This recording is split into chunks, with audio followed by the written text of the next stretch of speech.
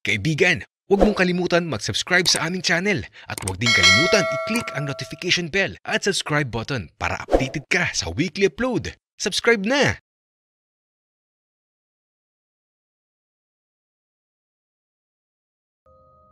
Labing dalawang kakaibang mga bagay na makikita sa kagubatan. Una, mga nawawalang pangunahing lungsod. Noong ikaw ay nasa high school na tila hindi makapasa sa history, ang 15 anyos na batang ito ay gumagawa ng mga natuklasang magiiwan ng marka. Isang nawawalang lungsod ng mga Mayan ang nadiskubre ng isang mag-aaral mula sa Canada noong 2016 gamit ang kombinasyon ng mga larawan ng mga satellite at astronomical constellations o ang ayos ng mga bituin. Alam niyang eksperto ang mga Mayan sa astronomy at lumilikha ng mga istruktura upang iayon sa mga bituin sa langit. Tumu Tumungo siya sa Google Maps at napansin ang istrukturang ito. Naniniwala siyang isa itong nawawalang templo at dito siya nakilala. Ikalawa, ang manok na simbahan.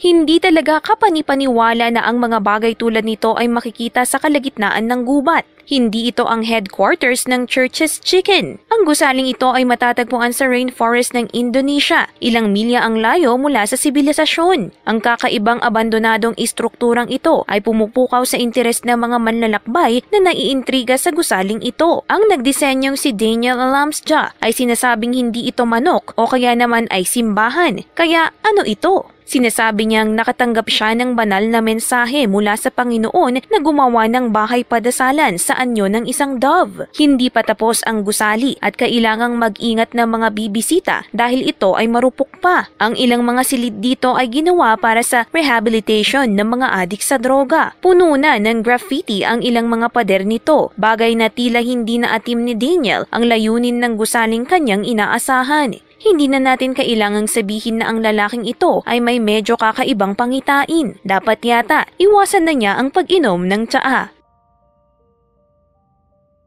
Ikatlo, Jabuti Kaba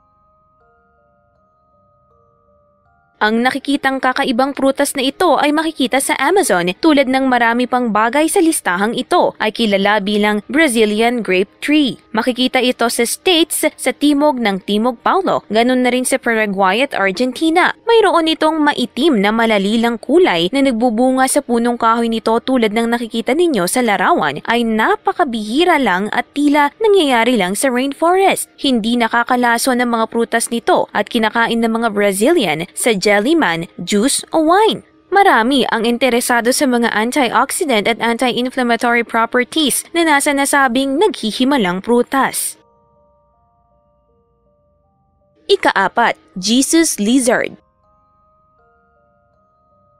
Naniniwala ka bang may butiking maaaring maglakad at tumakbo sa tubig? Ang mga butiking ito ay may ilang gramong bigat lamang, ngunit maaaring kumaripas sa limang talampakang tubig kada segundo. Hindi ito mula sa divine intervention, ngunit medyo misteryoso pa ito. Ang mga makasaysayang nilalang na naninirahan sa kalagitnaang Amerika ay itinuturing itong may sa demonyo. Ang kanilang mga air pockets na mula sa kanilang bilis at ang kanilang naiibang mga paa ang tumutulak sa mga butiki pataas, bagay na tila nagpapakitang tumatawid sila sa ibabaw ng tubig. Ikalima, pinakamalalaking mga buto sa mundo. Ang Coco de Mer ay isang higanteng halaman na nagbubunga ng pinakamalalaking buto sa buong mundo. Ang higanteng puno ay maaaring sumukat ng isang daang talampakan ang taas na may leaf blades na may sukat na labing limang talampakan. Lumalaki ang mga ito sa Seychelles Rainforest na matatagpuan sa Indian Ocean. Sa larawang ito, makikita ang isang lalaking hawak ang ilan sa mga malalaking buto. Maaari itong sumukat ng 20 pulgadang diametro at may bigat na 30 hanggang 60 libra. Ang kakaibang tawag dito na Coco de Fes ay mula sa mga Franses na ang kahulugan ay butt chick coco na makikita naman sa hugis ng buto. Nang una itong madiskubre noong ikalabing walong siglo, Inakala ng mga maninisid na mula ito sa isang mahiwagang puno na lumalaki sa ilalim ng dagat. Akala naman ng iba na isa lamang itong kalat na lumulutang. Ika-anim, Solar Halos Hindi ka makakahanap ng pot of gold sa mga bahaghari sa larawang ito, kadalasan dahil sa paikot ang mga bahaghari rito. Ang mga solar halos tulad ng nasa larawang ito ay nakikita minsan sa Peruvian rainforest at nakakamanghang natural na pangyayari. Ang mga halo na ito ay nagmumula sa refleksyon ng araw at kung magkakaroon ng refleksyon ang ilaw ng araw sa mga yelo sa atmosphere ng mundo. Ikapito, ang sikretong hideout ng Nazi. Ang Argentina ay tila ang huling lugar upang magtago ang mga Nazi noong katapusan ng digmaang pandaigdig kung saan malayo ito sa Germany. Ang kakaibang hideout na ito ang nagpapatunay na nakapagtago ang mga kriminal noong gera sa hilagang kagubatan ng Argentina.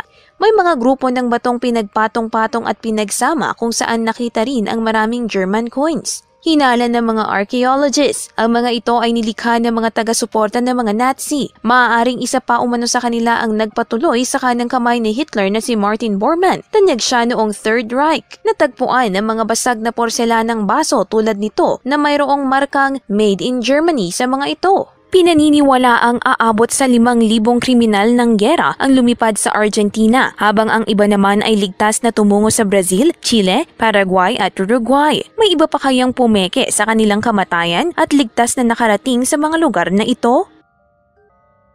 Ikawalo, Ayahuasca sa lahat ng mga kakaibang halaman sa Amazon, mayroong ilan sa mga ito ang nagbibigay ng nakakagulat na epekto sa utak ng tao. Ang kilalang brood na tsaa na gawa ng mga Amazonians na kilala sa tawag na yage ay ginagamit bilang gamot pang espiritual at mga seremonya. Gawa ang tsaa sa ilang vines at dahon at mga halaman tulad ng chakruna na may hallucinogenic na epekto. Ang mga taong nakainom na sa tsaang ito ay tila nagkakaroon umano ng pag-intindi sa totoong layunin ng buhay kung saan galing ang universe at iba pang mga pahamak na issue. Ilan naman ang nagsasabing mayroon silang kontak sa ilang espiritu. Ang mga shaman na gumagawa nito ay sinasabing inaalis nito ang mga negatibong enerhiya ng ating kaluluwa, ganun na rin ang mga emosyon. Handa ka bang tikman ito? Ikasyam, ang pus caterpillar. Nakuha ng misteryosong bagay nito ang kanyang katawagan dahil sa kanyang malapusang balahibo. Ngunit huwag kang magkakamali, ito ay isang bagay na hindi mo gugustuing alagaan dahil ang balahibo nito ay puno ng lason. Matatagpuan ang mga ito sa mga rainforests ngunit maaari silang maglakbay patungo sa mga swamps kahit sa Florida. Ang mga taong minalas na nakatagpo ng mga pus caterpillar ay inilarawan ang hindi magandang karanasan dito. Mas masakit pa ito kaysa sa mga lason ng bubuyog, dikya o mga alakdan. Nagre-resulta ng pamamaga ang tusok nito at pinapayuhang agad na tumawag ng espesyalista sa mga poison control. Mayroong malawak na uri at kulay ang mga ito at ang ilan ay medyo mas nakakatakot kaysa sa iba. Ikasampo, basket cocoons. Sa malawak at hindi pa nararating na lugar sa kagubatan, maaaring matagpuan ang maraming uri ng nilalang na maski tayo ay hindi natin alam na mayroon pala nito. At sa lahat ng mga kakaibang nilalang na ito na ginagawang tahanan ng gubat, kaya nilang magparami ng mga misteryosong mga bagay. Ang cocoon na nakikita natin sa larawan ay siguradong hindi mo pa nakikita noon at wala ring masyadong nailathala tungkol dito. Ang silk na ginamit para malikha ang kakaibang cocoon na ito ay mula sa magiging species ng moth na kilala bilang eroded. Talagang naayos at sinadya ang isang high-speed camera sa harapan nito dahil ang see-through na cocoon ay maaaring magpakita sa atin sa larvae na magtra-transform na sa moth. Ikalabing isa, mga alien. Posible nga kayang manirahan ang grupo ng mga alien sa malawak at liblib na bahagi ng Amazon? Ang larawang ito ay kuha ng isang turistang Briton sa Amazon Rainforest noong Oktubre 2011 at makikita sa bandang likuran ang talagang kakaibang nilalang. Kuha ito ng writer na si Michael Cohen sa partikular na bahagi ng Amazon na kilala sa mga kakaibang sipat sa mga UFO. Mayroon ding maliwanag na ilaw na makikita sa kaliwang bahagi ng larawan na maaaring bahagi ng kanyang spaceship mula sa kalawakan. Sa larawan, malinaw na makikitang isa itong alien, bagay na hindi maitanggi. Sa kabila nito, marami ang hindi naniniwala sa nasabing teorya at sinasabing peke ito. Tingnan ang larawan, ipaalam sa amin sa comment section kung ano ito sa inyong tingin. Ikalabing dalawa, kumukulong ilog o boiling river. Ang isang kakaibang kumukulong ilog ay matatagpuan sa Peruvian Amazon ay sobrang init at kumukulo at nagbibigay ng pagtataka sa mga siyentipiko kung paano ito nangyayari. Ang Amazon ay makikitang malayo sa isang bulkan upang maglabas ng sapat na geothermal energy na makakapagkulo kahit na sa isang maliit na ilog. Ito ay nadiskubre ni Andreas Russo matapos niyang marinig ang ilang alamat mula sa kanyang lolo at iba pang Peruvians tungkol dito na pinapakulo ng buhay ang mga biktimang nahuhulog dito. Napag-alamang nagmula ito sa isang bitak at habang dumadaloy ang tubig sa nasabing bitak ay umiinit ito. Siguraduhin lamang na hindi kayo mahuhulog oras na bisitahin ninyo ang lugar na ito kung ayaw ninyong matapos ang paglalakbay ninyo sa mga gubat. Salamat sa panonood nyo ng bidyong ito. Ipaalam nyo sa amin kung alin sa palagay ninyo ang kakaiba, extreme o sadyang nakakadiri. Interesado kami na malaman ang iniisip nyo sa comments. Panoorin nyo rin ang mga bidyong ito at huwag kalimutan mag-like at mag-subscribe. Salamat!